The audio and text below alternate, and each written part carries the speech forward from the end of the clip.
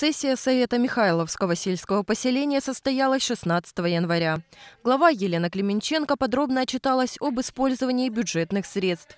Она обратила внимание на вопрос своевременной уплаты налогов, так как это основной инструмент пополнения доходной части бюджета.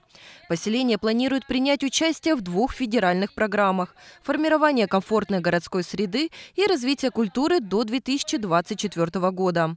Своевременно решаются общие вопросы благоустройства. Ежемесячно проводятся заседания инициативной группы, где рассматриваются вопросы, касающиеся жизни и развития поселения. За истекший период в администрацию поселения поступило 19 обращений граждан по вопросам реагирования отсыпки дорог, местного значения, по энергоснабжению, по спилу аварийных деревьев, незаконной вырубки зеленых насаждений, по содержанию домашних животных, о работе почтового отделения, по вопросам ЖКХ. Все обращения отработаны в полном объеме. Также с докладом выступил участковый уполномоченный полиции Никита Коваленко. Он отметил, что многие преступления предупреждены и раскрыты благодаря содействию и внимательности граждан.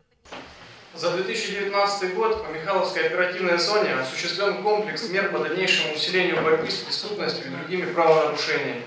Существенную помощь участковому пункту полиции оказывает администрация поселения – Значительную поддержку в налаживании профилактической работы по месту жительства мы постоянно получаем со стороны органов территориального общественного самоуправления, уличных и домовых комитетов, общественных формирований.